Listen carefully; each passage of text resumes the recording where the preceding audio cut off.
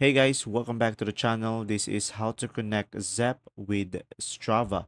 So first thing that you will do is simply go ahead and open up the Zepp application into your device and make sure to sign in into your account. And after that, just simply uh, go ahead and tap on your profile on the bottom right corner of the screen.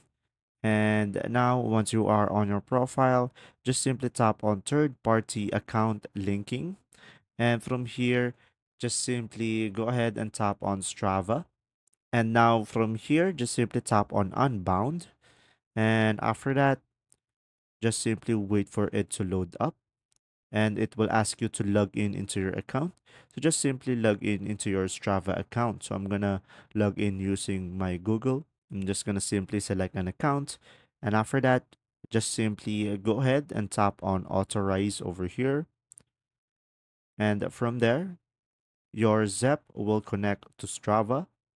And that's simply about it. If you found this video helpful, please like and subscribe.